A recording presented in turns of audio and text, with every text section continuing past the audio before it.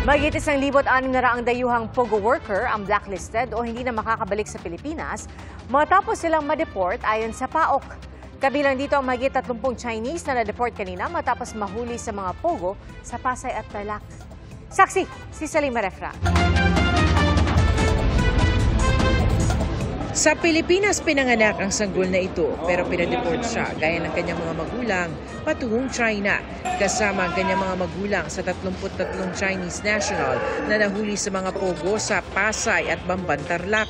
Dahil use sanguinis ang batayan para sa nationality ng sanggol, nationality ng kanyang mga magulang ang masusunod at hindi ang lugar ng kapanganakan. Kung ang mga magulang mo ay parehong Chinese, Chinese ka. Technically kasi lahat ng mga yan uh, will be treated as criminal suspects in China. So they will all be charged criminally in China.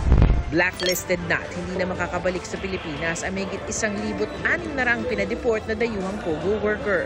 Sa nakaambang tuluyang pagsasara ng mga pogo sa bansa, nakikiusap ang pamahalaan sa mga foreign pogo workers na kusa na lang lisanin ng bansa kesa naman mahuli sa operasyon at saka ipadeport pabalik sa kani-kanilang mga bansa.